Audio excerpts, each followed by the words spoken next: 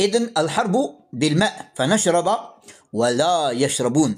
فقال رسول الله صلى الله عليه وسلم للصحابي الجليل لقد أشرت والله بالرأي. الله أكبر. هذا هو الأساس العظيم الذي قام عليه بناء المجتمع المسلم فيما مضى من طاعة المطلقة والانقياد ولكن لما أمر الله به وأمر به رسوله صلى الله عليه وسلم فلا مصلحة إذن ولا حكمة ولا هوى بعد أمر الله ورسوله بل الطاعه والانقياد بكل حزم وعزم وراء القيادة المؤمنة. وهذا هو الرأي والحكمة والمصلحة جميعا. ولا يكون ذلك إلا للذين يحكم الشرع الإسلامي حياتهم وهم مسلمون لله حقا وحده لا شريك له مستسلمون لشرعه الإسلام وليس للقوانين البشرية الأرضية.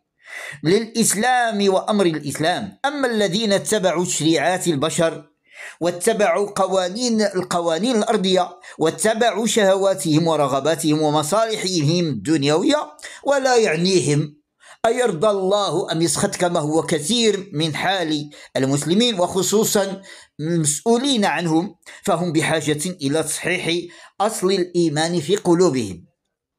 يقول الله تعالى وما كان لمؤمن ولا مؤمنة إذا قضى الله ورسوله أمرا أن تكون لهم الخيرة من أمرهم.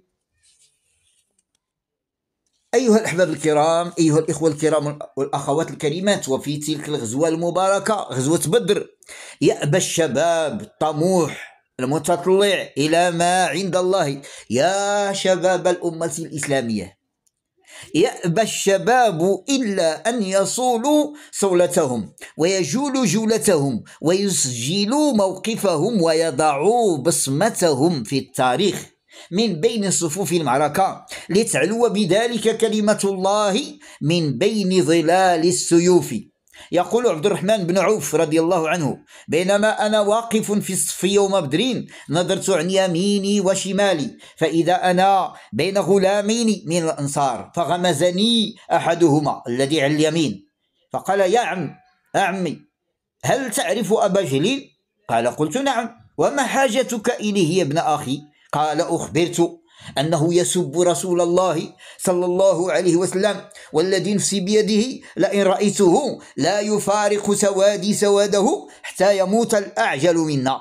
إذا الشباب تغيروا على دينهم على إسلامهم على الرموز من المسلمين على نعم. فتعجبت لذلك فقال الصحابي الجليل تعجبت لذلك فغمزني الآخر الذي عن شمالي فقال مثلها قال فلم أنشب أن نظرت إلى أبي جهل فقلت ألا تريان؟ هذا صاحبكما الذي تسألاني عنه. قال فابتدر فأسرعا إليه وابتدراه فضرباه بسيفهما حتى قتلاه. الله أكبر الله أكبر الله أكبر. صنديد من صناديد الكفر في صناديد قريش. وعظيم من عظمائها يأبى الله إلا أن يكون حتفه على يد شابين يافعين. والحمد لله شبابنا في غزة يعني ضربوا لنا أعظم الأمثلة في هذا الزمان. فأين أنتم يا شباب الإسلام؟ من تلك الطموحات من تلك طموحات إخوانكم في غزة وفي مناطق كثيرة في العالم. ماذا سجلتم لأمتكم؟ وماذا عساكم أن تفعلوا؟ أن تفعلوا بشبابكم وفراغكم وجدتكم.